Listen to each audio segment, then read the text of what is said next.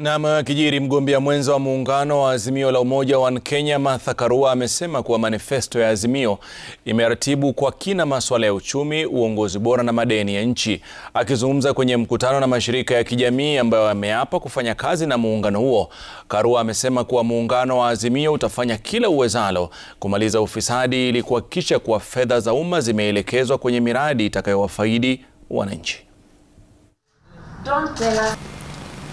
That it is not about laws. We may need laws to outlaw keeping cases days on end.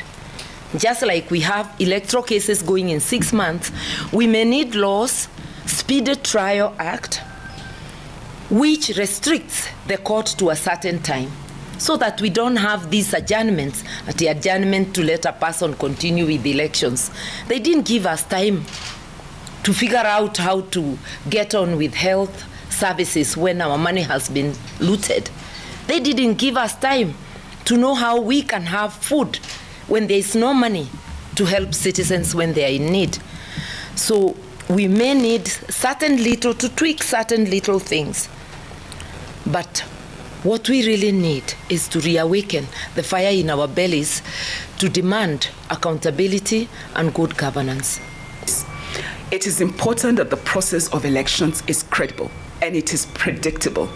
And right now, we have had one story today and another story tomorrow.